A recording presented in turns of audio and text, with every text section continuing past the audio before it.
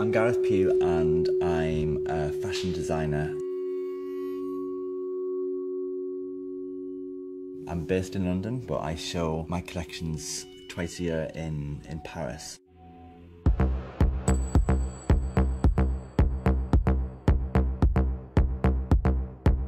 It's not really about clothes, it's more about an idea. An alternate reality, I guess, or something that you, you're not necessarily so familiar with.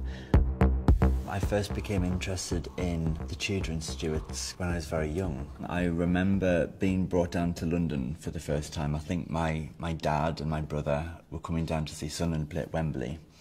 And because my mum didn't want me to feel like I was being left out, because I wasn't really that much into football, she took me around the Tower of London. And there was this magazine that she bought me, which was, you know, it was kind of, I remember the first issue was all about Queen Elizabeth I um, and it came with all these like little sort of costume things, and you could dress them up. And I remember getting, you know, I wasn't very good at. I remember I wasn't very good, good at drawing heads.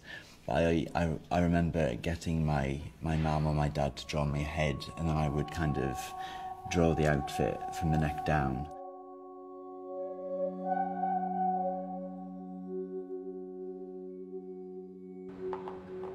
I'm Anna Reynolds and I'm curator of paintings at Royal Collection Trust and I'm the curator of the In Fine Style exhibition at the Queen's Gallery.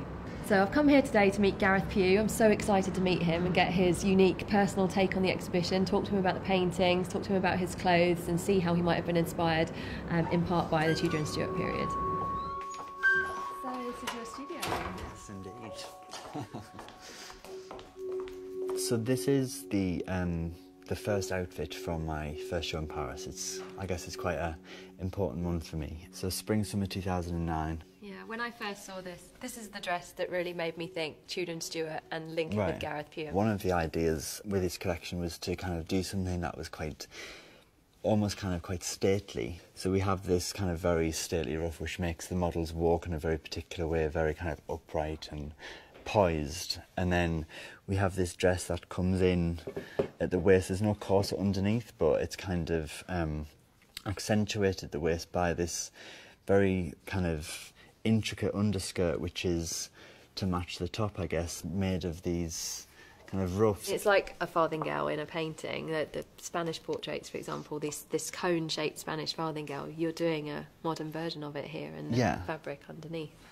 So this picture is a full-size portrait of mm. the Infanta. So it's the princess, daughter of Philip II of Spain. She's Isabella Clara Eugenia, and at this time she's Archduchess of Austria. Incredibly rich and lavish, opulent, with all that gold thread and the symbolism also within the embroidery there has a kind of links to the idea of marriage and um, also her kind of the heritage of her family, the the interlinking rings and what was it, the House of Valois that she's she's from.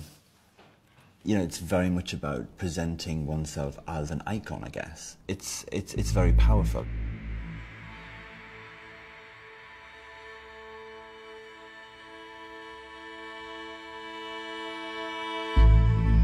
I don't necessarily like to think of what I do in historical terms, but actually the silhouette that we presented for fall, it was all incredibly long skirts with crinolines underneath, going up to a very small waist, and then there was these coats that kind of split away. So you've got this triangle over a triangular skirt shape. I, I love triangles. You know, in physics, the triangle is the strongest shape known to man. It's all very kind of subtle and it's all kind of quite, you know, abstracted, but I think it all comes down to that silhouette of power. And I think, again, that's something that I like to inject a little bit into my own work.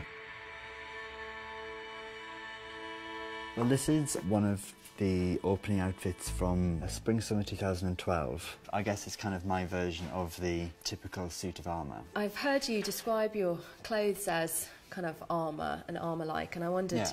what you thought about about this armour here? What does it make you think of? And do you see any kind of affinities with your clothes? I love the fact that it's kind of there to protect whoever's wearing it, but it looks so much like the exoskeleton of a beetle or something almost. The other thing that I think is interesting about armour at this date is how closely it relates to fashion. So we think of Yeah. armour as kind of something separate, but in actual fact, this is exactly the fashionable line of 1607. You see yeah, it in you've got these kind of like breeches. Yeah, they look and this just kind like- of like padded, kind of this kind of padded hip. Yeah, almost. exactly, and the, and the V shape of the waistline. I mean, Yeah, that could just go straight across, but it's yeah. like a, it is a V. you know, I'm, I'm very much taken by the fact that um, you know, it's, it's perhaps one of, especially like the talking specifically about the the Tudor period, sort of like the modern equivalent of the first power dresses. You know, that idea of using clothes for more purpose than just clothing oneself, especially with like um, how things kind of were. Um,